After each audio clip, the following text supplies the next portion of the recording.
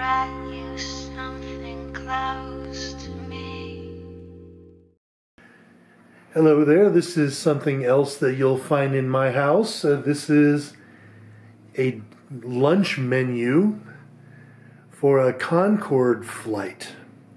For those of you who don't know what the Concorde is, uh, the Concorde is, um, well, really the only uh, supersonic jet airliner there ever was. I mean, the Russians will argue with you with that because they had their own sort of imitation Concorde called the Tupolev 144, which didn't work very well at short range and was deafeningly loud.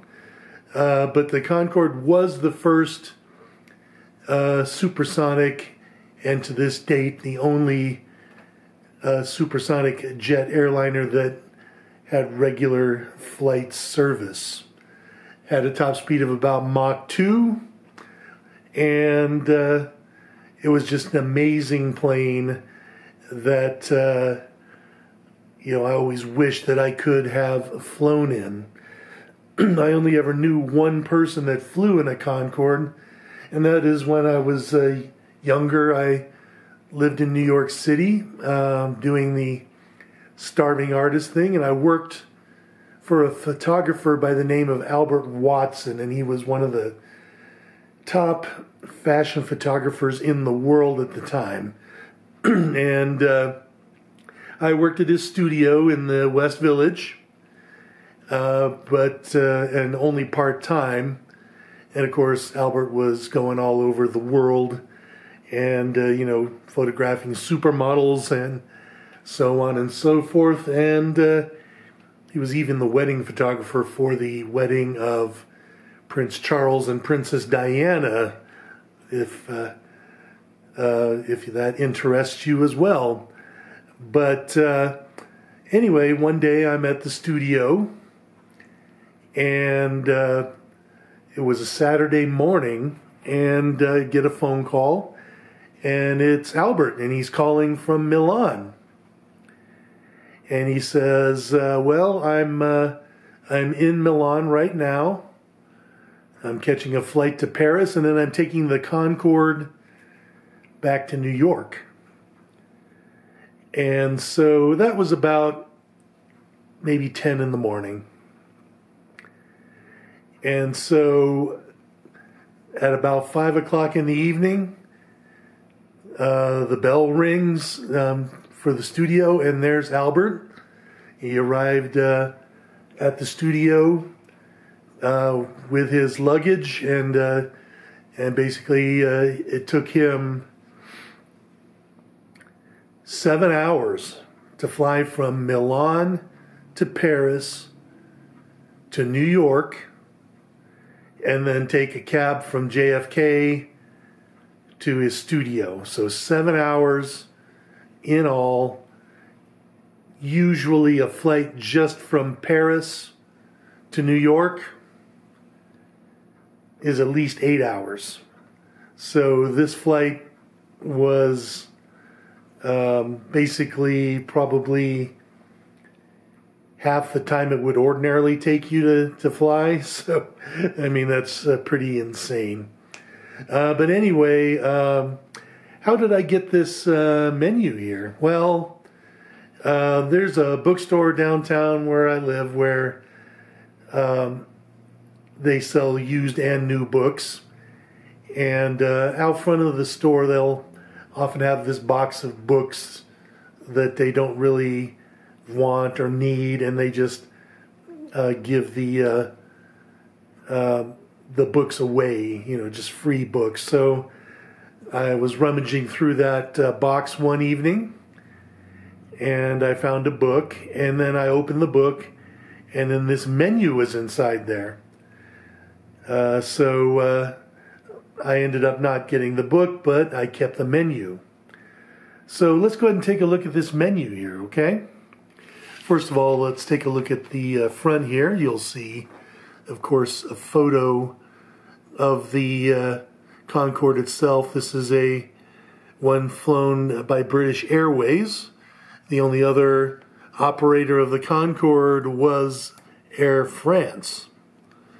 Uh, taking a look at the back here, you'll see that there's a little certificate on the back here. It says, by traveling on British Airways Concorde, blank, has joined the select group who have traveled at Mach 2 in the world's first supersonic passenger aircraft. Kind of nifty there, huh? Okay, uh, you look inside here, and it gives you a little bit of a, a history of the Concorde. First of all, it flew first in December of 1969, but it didn't start commercial service until 1976. Um, so it says here since its inaugural flight in 1976, more than three quarters of a million passengers have flown in the Concorde. And it says almost seven years of commercial flying have been completed. So this menu is from 1983. Okay, and uh, and so there's a little bit more if you want to look at that. Um, so kind of a neat little uh, synopsis there of the uh, Concorde. You'll see that this is a flight that flew from London to Washington. So this is when they had flights from Heathrow to Dulles. And uh, notice the flight time of four hours and five minutes. And so that is uh, substantial time savings over what it would normally take you to fly from London to Washington. Um, but here is uh, some more information about the Concorde. How will you know when supersonic speed is achieved? Well, basically, you, it was hard to tell that you broke the speed of sound, if, as I recall. Um, the only thing you way you would know was uh, there's a digital display in the cabin that would tell you when you got over Mach 1. Okay, and uh, and so uh, there you go. And here's some facts and figures about the Concorde, 204 feet long, which, by the way, is the length of the plane on the ground. But as it got to altitude and high speed, the plane heated up due to friction with the Earth's atmosphere, and it grew in length by like a foot, if not more, uh, at high speed. Um, it has, uh, let's see here, uh, four turbojet engines, which is why this plane stopped service after a while because turbojet engines are not very efficient compared to modern turbo fan engines and they just suck up fuel like crazy. It cost something like $10,000 to fly from London to the United States in one of these on, on a flight. So it just wasn't worth, uh, you know, flying because uh, it was just so incredibly expensive. Notice that it has a cruising altitude of 55,000 to 60,000 feet, which is about five miles higher than your average uh, commercial jetliner. So that's kind of neat. And also, the plane fits only a 100.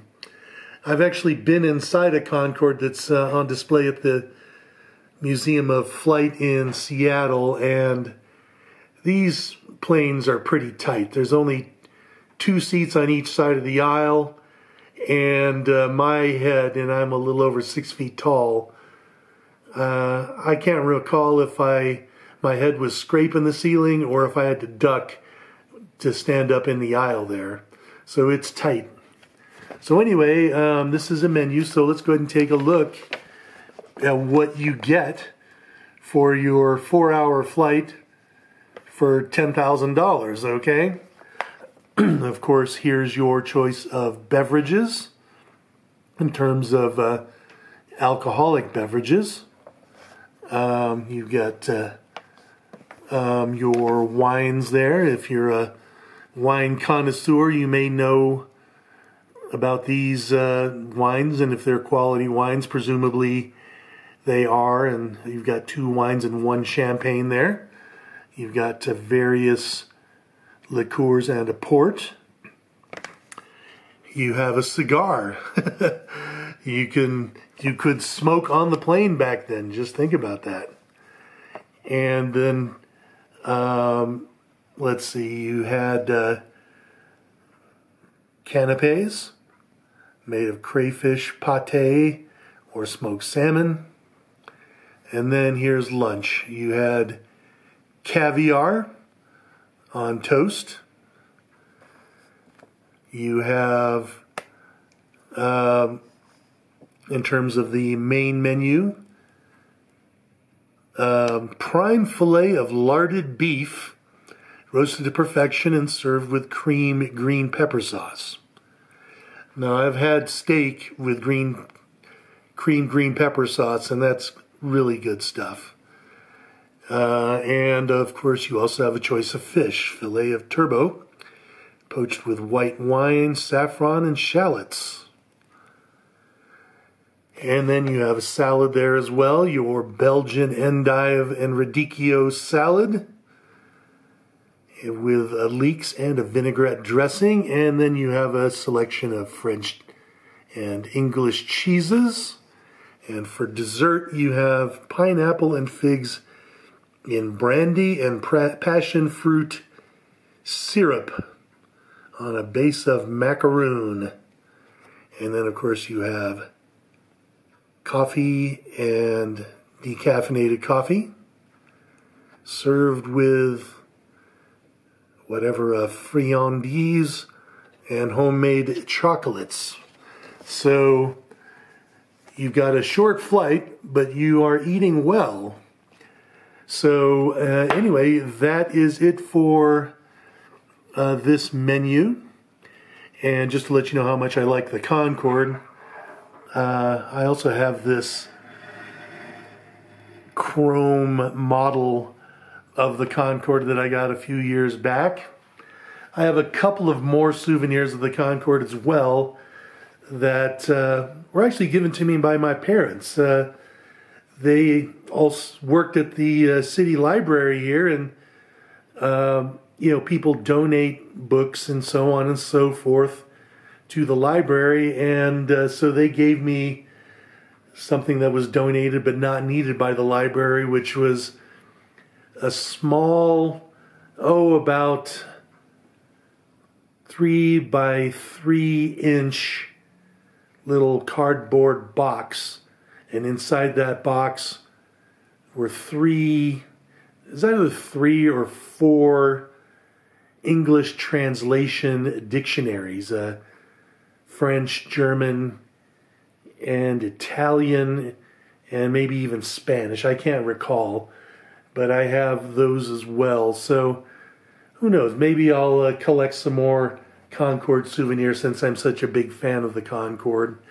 I'd love to get a uh, a safety card or something like that. You know, the thing that shows you how to evacuate the plane and all that sort of stuff. But anyway, um, I hope you enjoyed this look at something else that's in my house, and have yourself a great day.